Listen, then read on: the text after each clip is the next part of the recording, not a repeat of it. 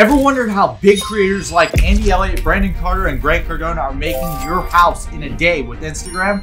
In this video, I'm going to show you all the dark secrets that influencers don't want you to know about how to use stories. Stick around to the end where I'll show you exactly how to make money from your stories and use it to monetize. All right, let's dive right into Instagram stories. Stories are a great way to grow a personal brand and also connect with your potential customers. Super important that you're using stories. It provides that little behind the scenes look, shows what you do on a daily basis and that you're not just an NPC, uh, that you do have a life. So I post a lot of my stories. I post somewhere from 8 to 12 times a day. You don't have to go that crazy, uh, but I would recommend posting a few times a day. Always make sure you have something on your story because if someone looks at your account, typically the first thing they're going to do is hit on your story, see what's going on, see what you're up to right now. So super important that you keep those stories up to date.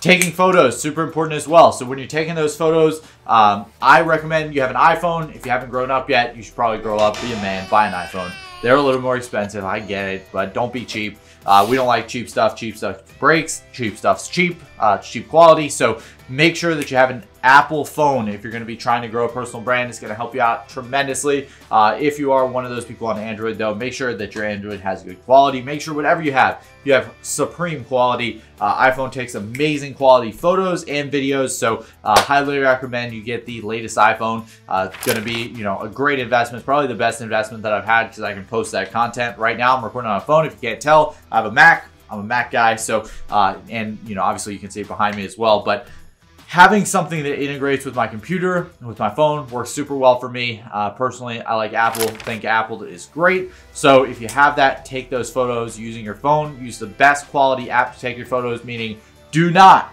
take your instagram stories inside the instagram app. Use the apple photos app. Take it with your camera. Uh, take that photo swipe up on it It'll say 4 by 3 switch it to 16 by 9 You're going to have the perfect size for your story, everything like that, so it'll turn out beautiful.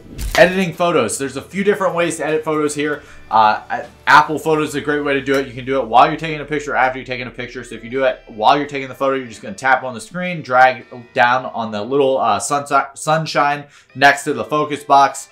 If you're going to do it after, you can just swipe up, go to the edit tool, uh, and then hit exposure. So you can see in there, there's going to be a little button that says exposure on the bottom. Uh, just swipe it to the right so the number gets negative. You'll see that it gets slightly darker. Super crucial to do this so that you can have super high quality photos. Auto does not work on iPhone in my opinion. I hate the quality of auto, so I wouldn't use auto. I just turn the exposure down a little bit, contrast up a little bit, uh, and then the next two down slightly, and that works phenomenal.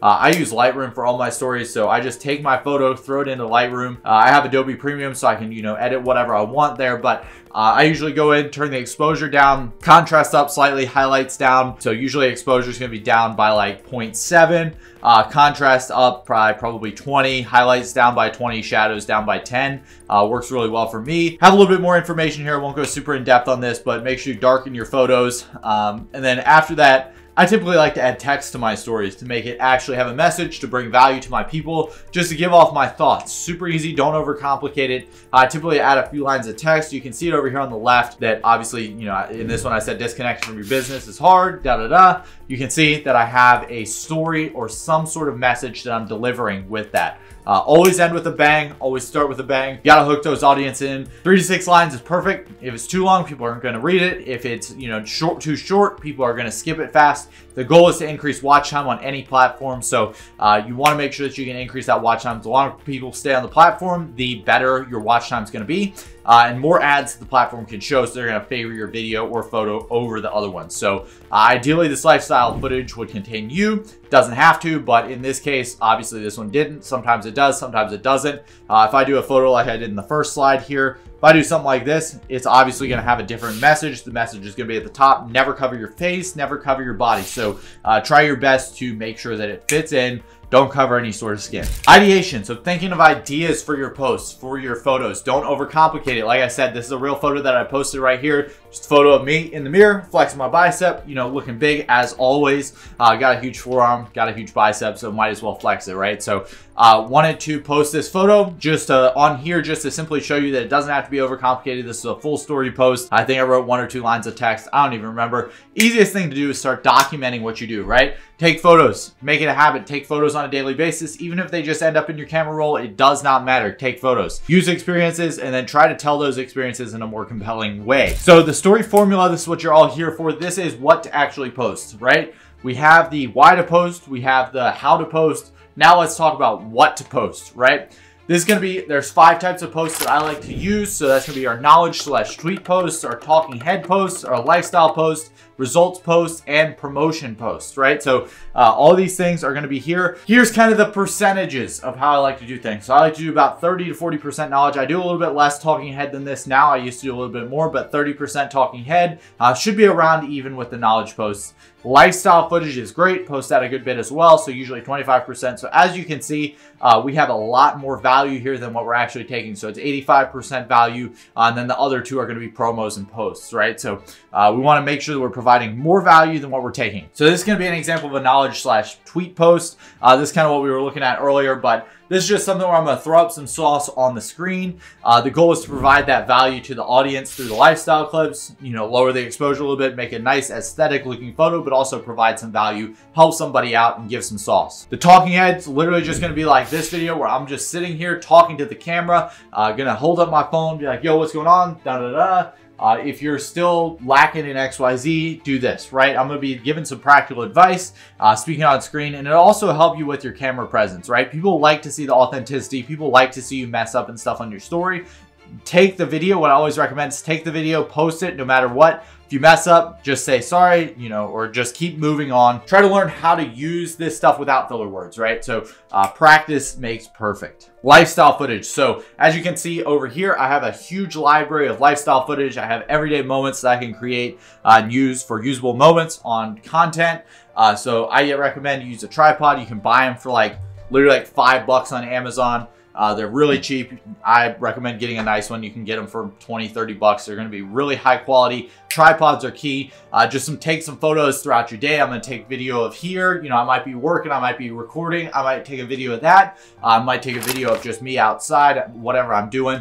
Uh, just make sure that those videos align with your personal brand and you'll be good to go lifestyle footage continues. So here's some things, some examples of things that you can take footage of. Uh, as you can see in the background of this, you can see that there is uh, a, just a screenshot of my Google Drive, right? I have hundreds of videos in here that I've just preloaded in here that are just videos of me doing these things. So uh, eating food, typing on a computer, or working, those are going to be great. Sitting inside of a car, getting out of a, getting out of a car, panoramic of the car, those kind of things are good as well. Driving a car, if you got somebody that's you know sitting in the passenger seat and can film you driving, right? That's going to be great as well. Taking a meeting uh, or talking in meetings, something like this where I'm recording these work well, very or very well as well. Um, so getting like a side angle of you filming, something like that. Dogs, pets, those kind of things. If you're out walking a dog, uh, things you do on a daily basis really is the big idea here. Things that fit your brand. So going to the gym, going looking at just scenery. Like I'll post some stuff where I'm just like, I had one this morning where I was standing here at this window. I uh, took a video of it and then just panned back over here. That's literally a whole piece of lifestyle footage that I can use in a video. I would recommend you get some vertical, some landscape. So a little bit of both going to help you out a ton. Uh, and if you are filming, like a, little trick is if you are filming uh, horizontal, try to make sure you fit in the, the center of the screen so that it can be used vertical or horizontal. If you film on 4K, it won't be an issue. Yeah, the easiest way to capture it is just use a tripod, like I said, get the best shots possible. Um, when I started, you know, recording this kind of stuff, I realized how recording, uh, how easy recording actually is. Uh, you shouldn't be trying to think of what to record. Just go about your daily business, record it. Uh, what helps a ton for me was doing like day in the life videos. So I did a few videos where I just talked all the way through my day, took footage throughout the day. And as I did that, I learned, uh, you know, what shots work, what shots don't work. And I got a ton of footage loaded up. So I just try to do that about once a week. Just take a full day, record it, do like almost like a day in the life video and just get as much footage as possible. It helps out a ton. Next up, we have our results stories. So here's a photo of Adley. She is a large creator. If you've ever seen those stupid Facebook videos,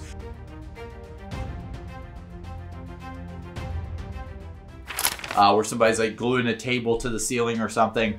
You have no clue what happens. There's never really any point to the video. That's her. Uh, got to meet her a few days ago at the Attention Summit. So uh, just figured I'd pop her stuff up here. But uh, this is like a results story that she recently posted. She's talking about like 783 million minutes viewed this year, uh, or in the past seven days, sorry. So she's getting a ton of engagement. This is an example of what you might post for results. This is different from a CTA. This is not a sales page, right? This is not going to be something for selling. This is going to be for testimonials. And I'll get into how to use this for selling selling in just a minute, but you want to throw this up that just has some, you know, results that you've gotten, whether that's we've gained this many followers or we've gotten this much money collected, right? What result are you providing? Especially if you're doing this for something in business, super important that you throw up results. If you're doing a coaching offer, right? Say you do fitness coaching, you might throw up a photo of you uh, and you before and you after, or a client before and after, right? Having those testimonials, having those results is going to be super key when it comes to actually selling stuff. So you don't want to just throw up a ton of sales stuff Make sure that sometimes when you throw up results stuff, you don't even mention, uh, you know, like a swipe up or a CTA or anything like that. Uh, CTAs are going to be the next thing. They are super huge. Uh, so these should be a very minuscule percentage of how much you actually do. This is one of my clients over here uh, talking about, you know, one of his CTAs and a bit of an example, but he basically said, if you want to make money like this on social media, join the free Discord, right? This is a CTA.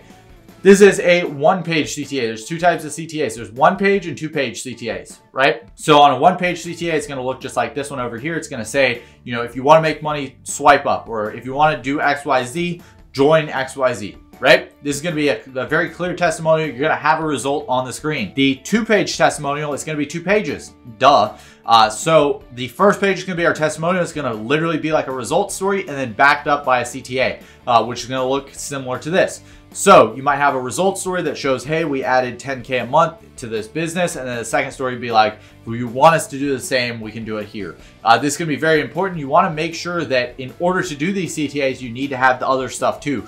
Meaning you need to be posting consistently on your story. This is gonna be really key. Because if every time someone opens your story, the only thing that's on there is a CTA, your viewership is going to drop drastically. So super important that you're using this. The main thing that if you're doing any sort of high ticket program, coaching, anything like that, super important that you uh, have swipe ups, right? That's going to be like swipe up with the word money and we'll send you XYZ, right? If you're automating, use ManyChat. If you are not automating, right? If you are uh, to have some sort of setter do it, do not use ManyChat. Use um, just internally, just respond to people. If you're to try to close them on a high ticket, if it's like a lead magnet, that's when it's okay to use ManyChat. But if you are just uh, trying to kind of grow um, an organic group of people who are to invest in a high ticket program, you don't want to use ManyChat. So this is kind of the basics of uh, stories.